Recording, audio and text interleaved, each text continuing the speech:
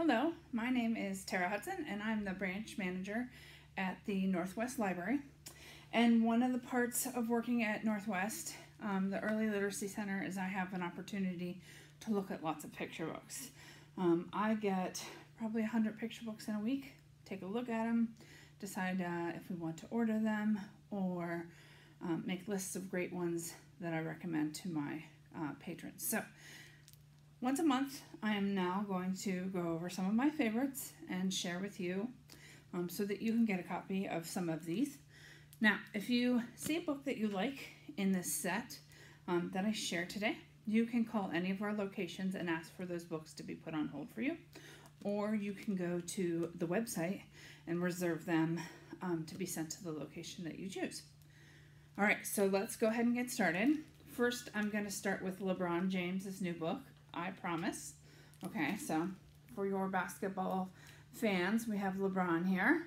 And he's written a couple of picture books, and I always, um, I have a spot in my Goodreads about picture books written by uh, celebrities, and sometimes they're great, and sometimes they're lacking. But this book is got, this book has, I Promise, has a positive message in it. Um, it's illustrated by Nina Mata, who's a New York Times best-selling illustrator. Okay, so bright colors, lots of fun. Um, children of different races and ethnic ethnicities, excuse me, um, which is kind of can be hard to find in picture books. Okay, so I will show you here. I promise to ask for help whenever I need it, to reach for my star even when I can't see it. So um, kids promising to do well, to treat each other well, um, to be good to one another. So this is a great book, has a good positive message in it. Again, this is I Promise by LeBron James. It's our first one. Our next book is Robo Baby, okay? So this book is uh, by David Wiesner. Um, he is a three-time Caldecott um, medalist. Um, so he also does his illustrations.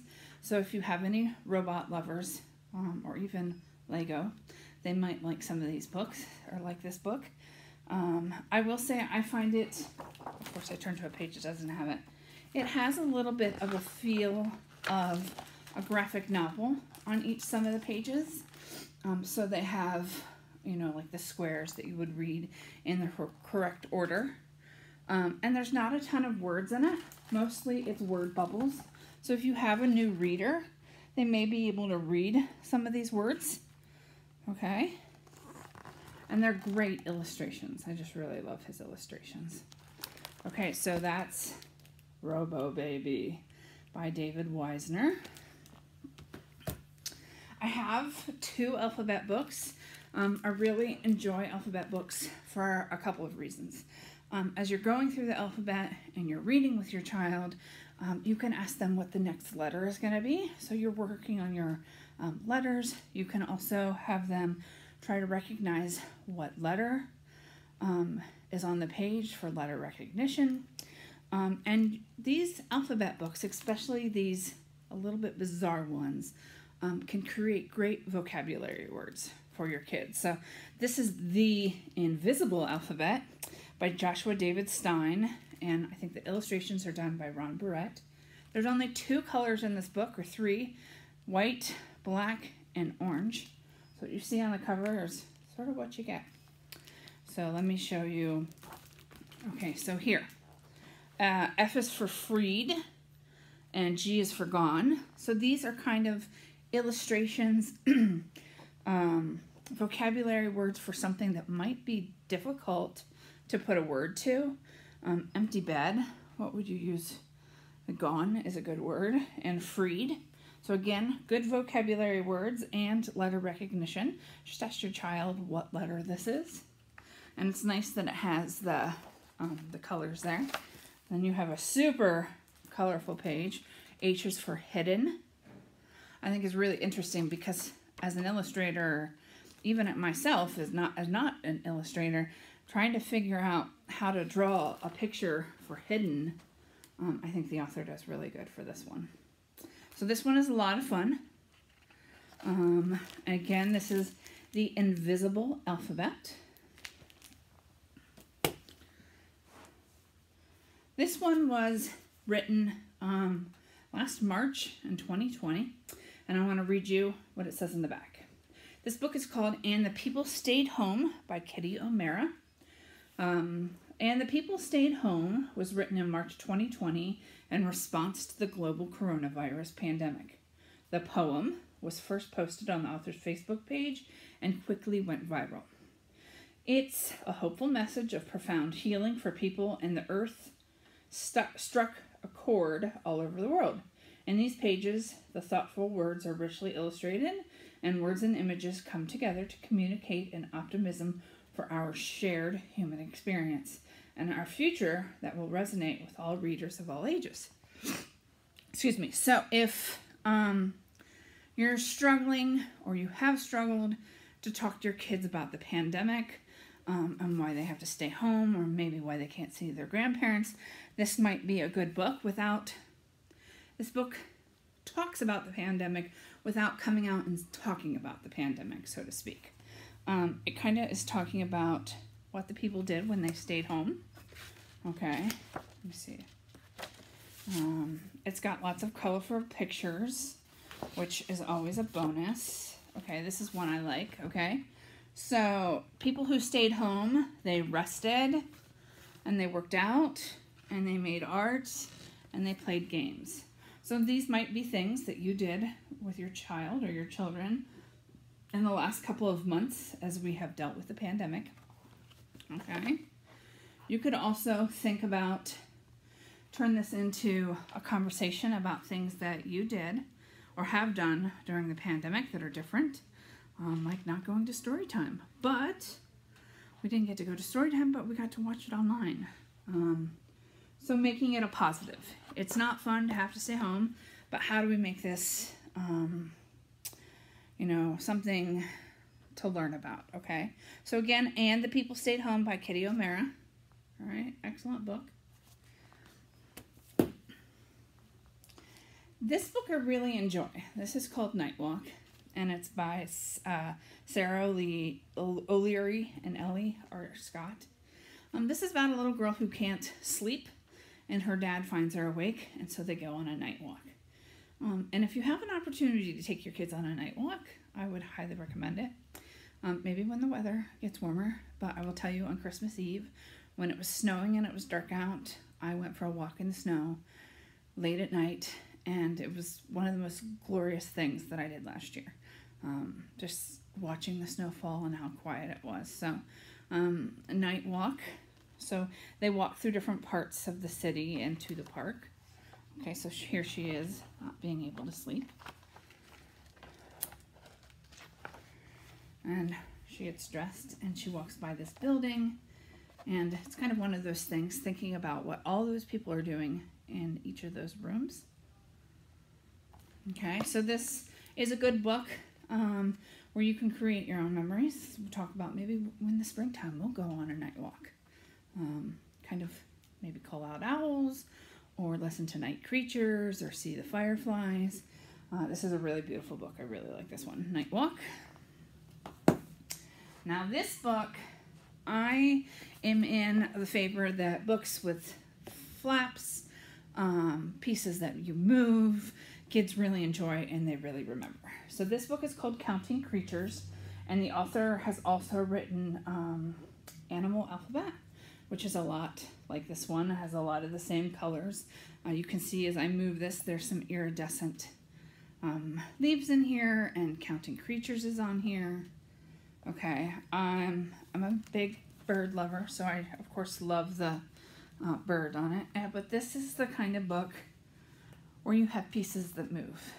Okay, so Counting Creatures. So this is a great book to count with your kids to work on their numbers. Okay, and you could do that without even getting into the book. Oh, what are these? These are flowers. Let's count how many flowers are on this page. One, two, three, four, five, six. So although you're reading in a book, a book for enjoyment, you're also helping your kids learn those early um, skills that they need for kindergarten. Okay. All right. So This bat has, look at how cool about this, one baby holding it tight as they fly through the night. Okay, so this book is about different animals and counting. There's lots of see-through pieces and large pieces that you can lift up or lift down, and there's more opportunities to count throughout. Okay, beautiful book. If you end up liking this one, I highly recommend that you get the animal alphabet too. All right, here is another celebrity written alphabet book. Again, um, not very often. We're seeing it more, but kids of color um, on the front cover of a book or just in general in picture books, we're starting to see more often, which is really great because then kids can identify with character in the book. So that's excellent. This is called C is for country. So again, building those alpha, um, those letter skills and that vocabulary. And this book is by Lil Nas X. Okay, and in the back you can read about him. He's a multi multiple Grammy award winning rapper, singer, and songwriter, and he's known for in 2019 he wrote Old Town Road. Okay, and like I said, I always like to see um, if celebrities are good at writing picture books or books in general or not, and so you'll have to let me know what you think of this one. Um, love the colors in this one. Love the letters. Um, okay, so we have C is for country. All right. And then this is a good opportunity to say to your kid, what else starts with the letter C? Maybe they have a C in their name, or maybe they know C is for cookie because they've watched Sesame Street. N is for nap. And then what is this? This is a horse. He's taking a nap. This just really allows you to build some skills with your kids. So again, that is C is for country. All right. Now, I did grab two J nonfiction books. Um, I, again, am a big animal person, so um, I think this book is really cool. Um, this is The Beak Book by Robin Page. Great, beautiful eagle on the front. Um, love the little eagle in the back. All right. So this would be in our 581s, which is where we keep the bird books. Okay, and this book is just about the different beaks that birds have. There's not a ton of wording on it. There's these great big pictures that the kids are going to look at. And then this beak is for tossing. And then there's a little bit of information about what um, the cormorant uses uh, his beak for and why he has a beak shaped like this. And then this beak is for crushing. And this is a shoebill stork. And then there's a little bit of information about um, why they have that kind of beak. So not a ton of information, not too much over information. There are exotic birds, and then there's birds um, like the pileated woodpecker that you might see in your yard. Okay, so again, this is the Beak Book. Love that one. And then I have Flying High, the story of gymnast, gymnastics champion Simone Biles. Okay, so um, if you have a gymnastics, a child in your house who loves gymnastics or sports or even the Olympics, this is a great book. If you have a child working on a biography, um, this is a good book about Simone Biles. Um, it does talk about her early life and her, stru- uh, her siblings, and then about her tumbling as a young kid. Um, but not a lot of words, okay? So early readers, okay, we have high bars, low bars, leap across the beam. Simone copies their moves and launches a dream. So we have rhyming in there, which is great. And then the, most of these words aren't too hard. So if you have a somewhat um, newer reader, they might be able to read much of this book with a little bit of help. All right, and of course, we skipped a year, and the Summer Olympics may be happening this year. So as you're getting ready for the Olympics, you could read this book about Simone Biles because chances are she is going to be at the next Olympics again. Um, and then this also talks about some of the moves that are named after her. Um, and like I said, I love the rhyming in it. So again, this is Flying High, the story of gym, uh, gymnastics champion Simone Biles. So, excellent book. So, those are the books that I have for you today. In the comments, I would love to hear what picture books or J nonfiction books um, that your kids are enjoying uh, or books that you have found. And then again, if you want any of the books that I've shared with you today, uh, give us a call, go online and reserve them for your kids to read them. And then I'll be back next month with some more. I hope you enjoyed this. If you have any questions, let us know. Just reach out to the branches.